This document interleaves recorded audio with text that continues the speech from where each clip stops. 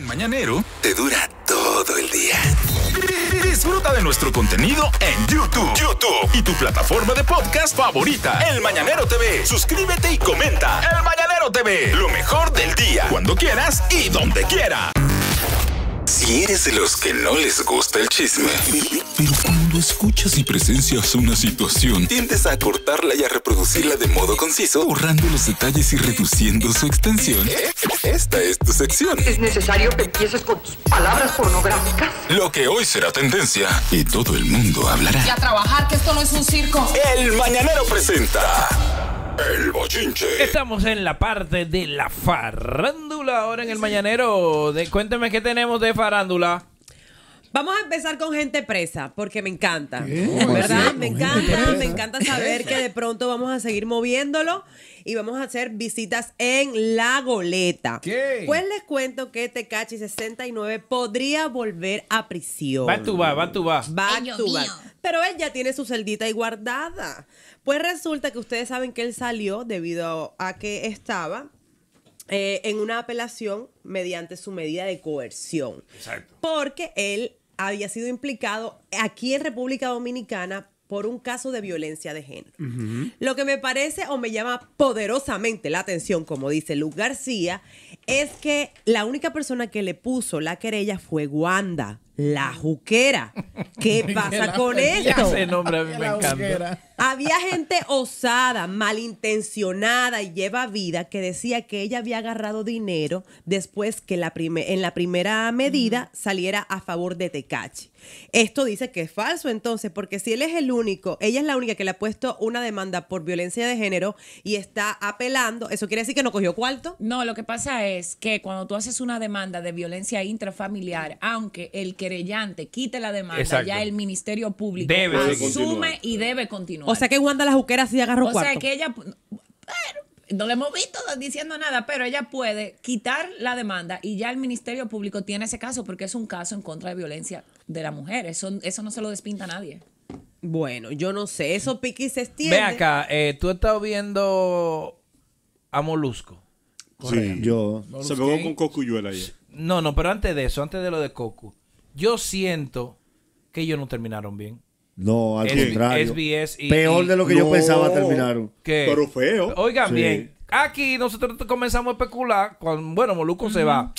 Bueno, nos cuadraron el tema de, de- del contrato, sabíamos de, de- de aquella vez, uno sabía, ¿verdad? Que estaba el Porque malestar. metió una presión Por la- en el contrato anterior. Recuerda que él duró dos semanas fuera. Ah, la Sí. otra vez. Él duró, él metió una presión y le aceptaron las condiciones. a él. Exactamente, que era, creo, él no, no lo ha dicho, que era poder usar contenido de, de los Reyes de la Punta en su canal de YouTube, algo así. No, ellos querían que él no usara contenido de Rey de la Punta en su canal privado. Ok. Eso fue ahora. No, en el anterior. En el anterior. Y él le dobló el pulso y él siguió usando contenido de Reyes de la Punta en, en Molusco TV. Bueno, pero yo pensé que era simplemente, eh, yo quiero mi canal de YouTube, bueno, pues yo no te lo quiero dar, no hay problema, bueno, pues, pues terminamos. Pero de- yo vi eso, el tapic, o sea, nos quedaron bien. No sé. supuestamente SBS, supuestamente no, lo que él dijo, ¿Qué? SBS quería un 50% de lo que producía Molusco TV. Él le explica Pero el- con el contenido de No. los Reyes de la Punta. de lo que producía Completo. Molusco TV. Mo- de- entonces, con su canal. Entonces él dice, es que los adolescentes, eso es de mis hijos. Claro. Sí. Yo no tengo que darte un peso verdad. de los Y adolescentes. dio podcast. un dato ahí súper interesante. Él dijo, son mis hijos, son mi cámara, son mis luces, son mi equipo. Es el estudio. patrimonio, es mi estudio. ¿Cómo yo de los de mis hijos, el trabajo de mis hijos, te voy a dar la mitad? Es verdad. Coño, que el rico lo quiere todo. SBS alegaba que él creció desde la Digo, eh, plataforma digo, de SBS. eh, SBS no, no, ha, no ha dado comunicado. No, perdón, dice él. Exacto. Dice él.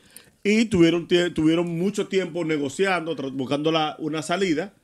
Y no hubo forma. Además de que Ali Warrington está aquí en el país, Ali. Ey, ¿verdad? Sí, pero está en Santiago. Concho, Le escribí, quería vamos a comer con él, por lo Está menos. en Santiago en, un- en un- en una actividad de, de- de cigarros. Eh, ¿Hasta cuándo va a estar aquí? lo voy a preguntar. Pregúntale para ir a comer con él y, y venir a la actividad era anoche. Quizá está, porque él amaneció en la capital y se fue ayer. cuánto. Él se fue ayer para Santiago. Cuando le, le escribí, ya iba camino a Santiago. Ali tenía año y medio trabajando sin contrato. Pamela Nova no tenía contrato. Robert Fantacuca nunca ha tenido contrato, que es la base del equipo de Molusco. Y la pregunta del millón, como siempre alegan.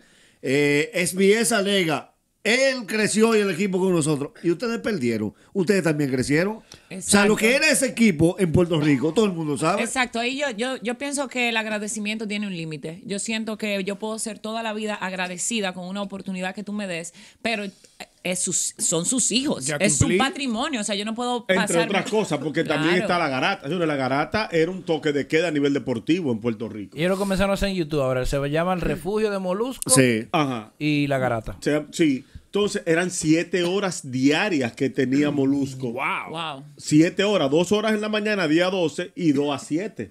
Siete horas diarias.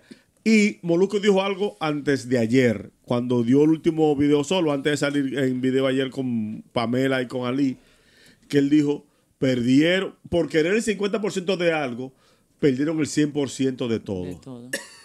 Se habló de que Chente iba para allá. Chente habló que le ofrecieron uh, 1.7 por dos años. ¿Qué? ¿Qué? 1.7 millones. ¿Pero de qué? De, millones. De dólares.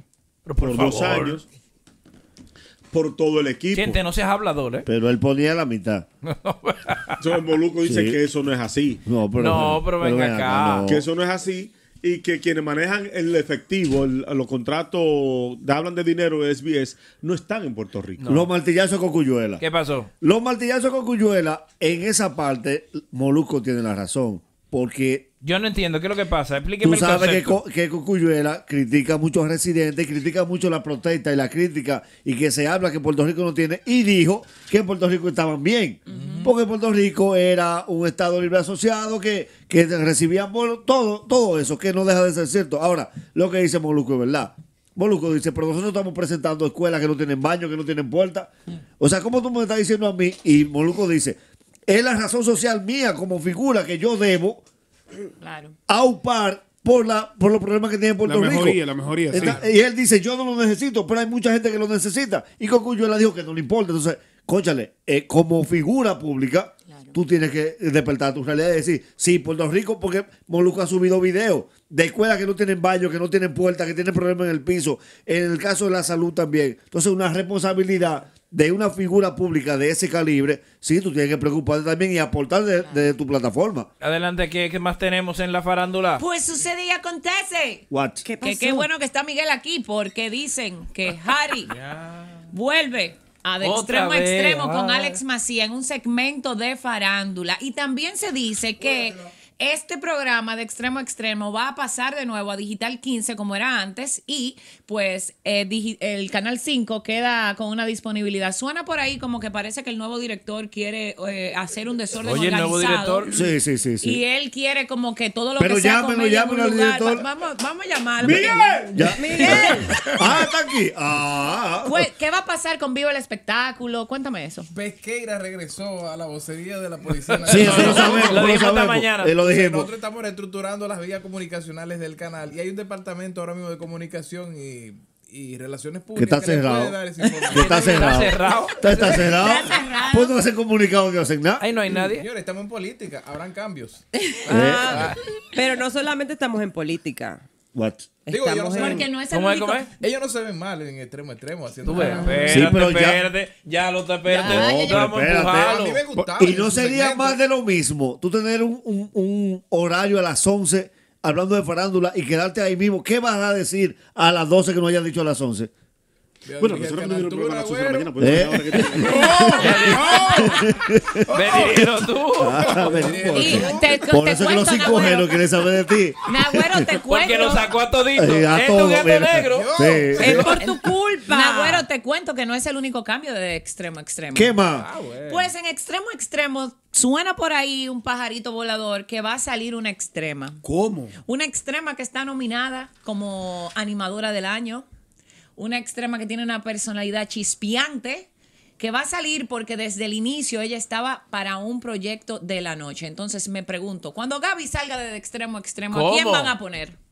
Si te lo dijo un pajarito y seguimos hablando de pajarito. Llama a pajarito. Habían rumores De fuertes. pajarito hay mucho. Había rumores fuertes que decían que Tunay por la noche iba a, a- a- también a sa- salir alguien para que entrara Gaby.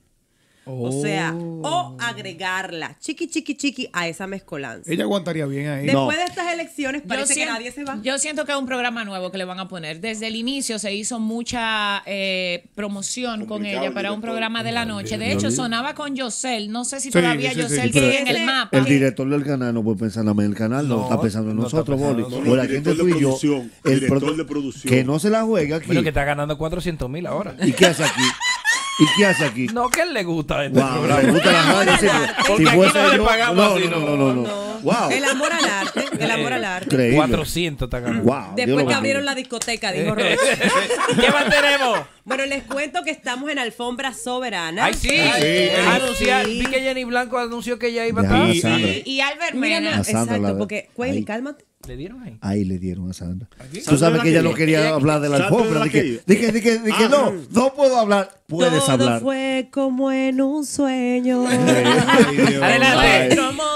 Todo- Bueno, les cuento que ya tenemos a los cuatro presentadores ¿Y tú de la feliz? alfombra. Estoy muy feliz por Claro. ellos, Pochi. Jenny Blanco por tercera vez consecutiva. No, Em, no consecutiva, la última vez fue en el 2013. Pero Sí, ella ha tiempo. hecho ya dos alfombras, una cuando ya estaba en Supran, en la segunda en el 2000 y pico, y esta en una tercera ocasión. Se estrena Lisbeth Santos, se estrena Lisbeth Sí, Santos sí. como conductora de la alfombra. Está Albert Mena y eh, Reading. Reading yo hice una alfombra con Reading y de las mejores experiencias es trabajar con Reading. Sí, muy bueno. Pero muy una vaina, un ser humano. ahí. No, no, no, no, yo. Tú sí. Pero un ser humano espectacular. Desde los ensayos. eh, con él te, lo bueno es que él mismo te asesora con la ropa y ya tú no Claro. tienes que pagar sí, nada. sí, sí. aparece en la alfombra. ¿Y qué hace el resto Mucha gente pataleando. Ridy es asesor de imagen de muchas figuras. Internacionales. Muchas películas. Para que muchas, tengas- Digo, yo hice una pregunta. No, no, Sí, no. te estamos no se respondiendo. Te estamos respondiendo. Oye, perdón. Mucho- mucho- Señores Pantaleón, pues disculpen. Eso es intercambio, hay que defenderlo. Como debe ser. eh, no, Reading no. Ey, ey, Nosotros Correa. pagamos la Perdón. tela. Y Reading a mí nunca me ha vestido ni me ha desvestido. Se porque- nota, se nota. No, no te ha vestido porque Se- no aparece se ropa, nota. pero bueno. Se lo sabemos. No, pero me, para mandó- me mandó a poner crema un día. un día. Él me asesoró una vez, una cuando me quité el pantalón para Le me dijo, dijo, Correa, hiciste la crema, humectante. No. Yo tenía esa pierna. Pero mira, Él le voy a que a mí lo que no me gusta es la forma del vestir. ¿A quién? Cada vez que hago reading. ¿Por qué? Lo veo como con una cosa rarísima siempre. Ah, no, porque Eso que- es acuérdate los falso. Ese es fashionistas. vagar, Eso es a la Pero, para que tengas una idea, Reading Pantaleón es quien le está haciendo la gira completa a Cristian Nodal. Sí. Wow. Sí. A Cristian Nodal. Muy o sea, el tipo anda con Nodal Y, para arriba y y duró un tiempo con Ana Bárbara. Sí, y, ahora, también- eh, bueno, no puedo decir eso, pero sí, están fuera Dilo, del dilo. país, eh, transporta, eh, mudando a Cristian Nodal de un sitio a otro. Miren, pero Ah, volviendo porque se va, de- se regresa a México él. No, No. No. está en otro país. Oh. Pero di la primicia. No, no puedo porque, conchole, no Entrégate puedo. al Corán y entrega No, todo. No, no, no. Arriesgate por tu proyecto. Pero no. volviendo al bochinche, mucha gente se está quejando y está haciendo una crisis porque ve a Jenny Blanco y dicen, ¿pero por qué? Si ella ya lo ha hecho dos Ah, como que veces. una vez más. No es justo. Lo hace bien. Señores, esto A no, mí no me es- parece justo. Esto No es es, esto es no es por nunca, Sandra. turno, esto no es porque usted crea que se lo merece, esto no es porque usted Es a tenga que mucho tiempo en los medios, esto es para quienes funcionen y para que al pro- para quien le funcione al productor según la visión que él tiene. Una pregunta para ustedes que saben más que yo. ¿Qué probabilidades tiene Albert de ganar ahora que está en la alfombra? Yo creo que Ma- mucha. mucha, La- la misma que mucha, tenía antes. mucha. No, no. Mucha. Él, a él le No, fue, a él le fue no. muy bien. Este, No, eh, no son no, vinculantes, no, no, no. No son Pues, vinculantes. Ojalá no son que vinculantes. gane. Entonces, el Ojalá rumor, que gane. el rumor que había, porque había No un son rumor. vinculantes, pero Parte del pago puede ser ese. Ay, no. Ay, no, Albert tiene No, mucha deuda. claro que no. Tienes un punto. Albert, Albert, Albert y no en una casa que tiene que pagar. Albert, lo, co- sí. Albert lo una coge. casa. Y él no coge eso de intercambio. No, No, no, no. coge eso. ¿Qué? No. Albert. Sí, Al- Al- es bueno negociando, pero Digo, Albert cincu- coge cincuenta muchas pero dispara. lo que dice Miguel que no influye y no ha coincidido muchas veces Ha que aquellos que Sí. son parte de terminan ganando Sí. habiendo perdido y haciendo menos verdad, trabajo en años anteriores. ¿Tú quieres decir que, no. esto es un premio de consolación? No, no, no, digo, porque los números están ahí, los hechos están, que coincide muchas veces que los vinculados a los premios, incluso gente que no va a los premios, nada más va cuando gana. Pero Ojalá sí, y gane, el año pasado. es cierto. el No, ojalá y gane. No, ah, porque, perdón, en ese caso es porque esos eh, que no que van cuando saben que van a ganar tienen gente dentro Y que le dicen, dicen, ganaste tú. Y le dicen, No, no, exacto. de-. Pero que hay que recordar que el año pasado eh, vimos mucha gente que tuvo participación en tarima, presentando premios, haciendo esto y lo otro, y no ganó y estaban nominados. O sea, el, por ejemplo, Don Albert Hochi- perdió dos veces en el soberano pasado. Sí. Pero la tercera es la vencida. Como Que porque- Chepe y gane, que Albert. gane. Es un tipo Oh, tú súper sabes que juntaron dos años Ah, Sí. en la misma categoría. Sí. Ojalá y gane, porque en realidad es, Fajador. es un fajador, anima súper bien y todo el año está trabajando. Oh, Bólalo, bólalo. Animal Ojalá figura se ahí. lo gane. Pero tú sabes que también hay otro pleito más. ¿Qué pasó, Ah, pa? bueno. Chuan.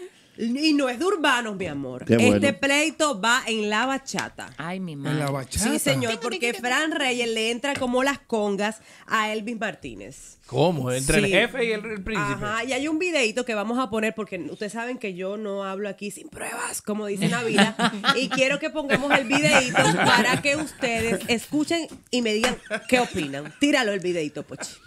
Dale. Yo voy a Elvis Martínez, que yo soy el jefe, hay que respetarme. Él, él dijo, yo lo vi, eso lo vi yo, no- nadie me lo contó. La gente dice, no, que Elvis Martínez dice esto, dice lo otro. Eso yo no, nadie me lo contó, yo lo vi cuando él dice, yo respeto tres bachateros, Anthony Santos, Luis Vargas, Raulín Rodríguez, y le preguntaron, ¿y lo demás? Friquiti. Oh. ¿Friquiti de qué? Tú sabes que tú estás en Liga Menores todavía. Tú no has llegado a Liga Mayores todavía. Y tú sabes que para llegar a Liga Ma- Mayores falta mucho y quizás nunca llegue a ser Liga Mayor. ¿En qué clase está, ve usted a Elvis Martínez? Liga Menor. El video está muy Pero ojo, ojo, para el que sabe de bachata, ya Fran Reyes viene, yo no diría de una metida de pata porque le funcionó en términos publicitarios un mix que hizo con Adoni donde dijo que nadie tenía más bachata pegada que él. Ah, sí. Eso es un error. El que sabe bachata sabe que lo- los tres pilares aquí, Anthony Santos, Raulín y Luis Vargas. Esos son los tres pilares. Después de ahí vino Fran Reyes, vino Elvis Sí, Martínez. pero, el pero no, video- no depende del tiempo. Eh, el depende video- también en las pegadas que ha tenido. No, con no- pegada no y va con, con el tie- tiempo. con pegada y con tiempo. Cuando Fran Reyes estaba vendiendo China y en el 9, ya esos tipos eran tres artistas ricos y reconocidos. Cuando eh, en el video lo dice. Él, lo- él le dice a Luis Martínez, que creo que, que está equivocado, Fran Reyes, que él dice, eh, después de Anthony Santos, Luis Vargas, Raulín, sigo, seguimos, sigo yo, tú estás en pequeñas ligas. Yo no creo que Luis Martínez esté en pequeñas ligas. No, no, no, no. no, Lo que pasa es que Señor, son... Luis Martínez hace 23 años. Está pegado, metido. Sí. Sí. No, y Se además, mantiene y es se que son grupos distintos. Porque eso, ese grupo de tres, de Anthony Santos, Luis Vargas y Raulín, ya luego tú lo bajas por categoría y viene Zacarías Ferreira, Sí, viene ahí. Fran Reyes, viene Elvis Martínez, Joe Vera, Chaval, Sí. Luis Miguel de la Mar. Es que ha sido así. Métemelo ahí, Porque el fenómeno de aventura era grupal y no era la, la bachata típica, No, porque eran bueno. muchachos de Nueva York. Lo que pasa es que Elvis Martínez le hicieron una pregunta de cuáles eran los bachateros que él admiraba. Él dijo tres que él admiraba. Los tres, los tres que tres. nadie se atreve a sacar nunca del top. Exacto, entonces. ¿Quiénes son? Anthony Santos, Luis Vargas y Raulín. Y después de eso, él le dice, Están ¿y los demás qué opinas? Y él hace de que, ¿Qué? están Que- ponchados. Que ojo, en ese arreglo de bachata, el que menos cantaba de los tres pilares era Luis Vargas, pero fue el primer bachatero rico, que tenía una plaza, que tenía un estudio, que, que tenía una casa con una piscina, una guitarra, Que cuando los hizo, el bachateros no tenían crossover, dinero. que hizo el crossover de la bachata plebe a la bachata Sí, limpia. y le puso eh, eh, cuerda que no eran de nylon. Ya, y nadie habla de Leonardo Paniagua, que es el que me gusta. Ay, Ahí está. Dios Sí, mío. esa es ¿Y otra dónde le- categoría con Eladio Romero Santos y, Luis. Segura. Señores, pero como el, el Ay, ¿cuánto odio mueve más que el amor, seguimos en pleito. Voy a volar una porque no me la sé esa, pero vamos al pleito de entre Ana Carolina y Sandra Berrocal. Pasó, Uy, ¿qué mira, pasó? mira, Por- Sandra por- que no está peleando con nadie últimamente. Ah, que te mandó un saludo, por cierto. Ay, yo Como- la quiero a ella. Como dice Sandra, por Susma, sus maridos. ¿Qué pasó? Sucede y acontece. Pero tiene prueba.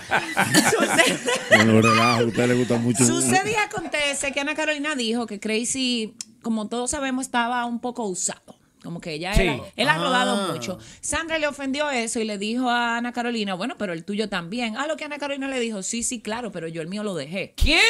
Ah, pero. Ah, que musicólogo. Entonces yo voy a decir algo, señores. A mí me encanta el manejo de Ana Carolina. Le pido a Dios que me mande por lo menos 10%. No, tú ella nunca habla como ahí. y de esa religiosidad, de esa sí, Pero- yo lo Sí. dejé. Yo voy a algo. Siempre que quieren atacar a Ana Carolina, cuando se está, cuando ella emite un comentario sobre matrimonios o lo que sea, de una vez le dicen, tú también, como psicólogo, tú qué sé yo qué. Pero Ana Carolina es la única que, han- que ha estado en ese tipo de situaciones y se ha dado a respetar, porque es la única que aguantó mucho y un día dijo, No más. no, Batallas. Cuídate.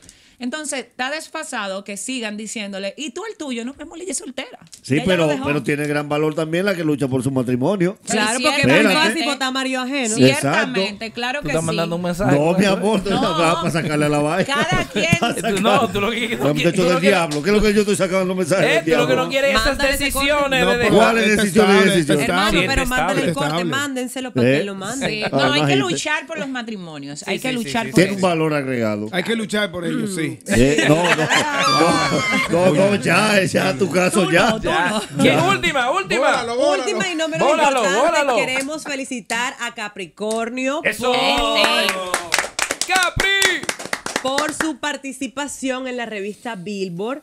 Está, eh, fue destacado por la, entre, por la revista con un blog completo en las páginas hablando del dembow y la música urbana dominicana. Esto ha representado muchos consejos para Capri, mucha gente apoyándolo, mucha gente diciendo, wow, el creador de contenido, una de las primeras personas que hace farándula, ha entrevistado a grandes eh, exponentes urbanos exteriores e interiores. Wow, yo no sabía que él se llamaba Pablo. Pa' que, ¿Cómo me da Pablo? Su cara no me da como un Pablo. Y mira, y anunció un nuevo proyecto Tiene cara de Anthony. que se llama Los Relatos de Capricornio. ¿Qué? Podría ser tipo los relatos que hacía Mickey. Mickey, ah, como un homenaje. Eh, sí, ese contenido gusta mucho. Sí. A mí me Sí. gusta mucho lo que él hace porque a nivel de producción, él le pone todo eso dolly, esos sonidos. Él hace Sí, una producción sí, sí, tipo sí. Nicky Y- O sea que hay, viene un dinero ahí. Eso en Facebook es un escándalo. Sí. Sí. Y hay algo, Boli, en el trabajo que hace Capricornio, que es muy bueno que lo digan otros, pero que también lo diga él. Porque mucha gente ve y dice, ah, pero mira a este entrevistando eh, delincuente. Míralo ahí. Si hay algo que él hace y le ha funcionado, es, primero, sentarse con el entrevistado, decirle, mira, esto te puede cambiar tu vida. Esto puede ser un antes y un después. Y él dice, yo le doy seguimiento. Yo doy se- incluso hay tipos que le hacen una segunda entrevista. Claro. Y hay otro que, que él mismo dice, eh, me dijeron que tú andes mal le paso otra vez.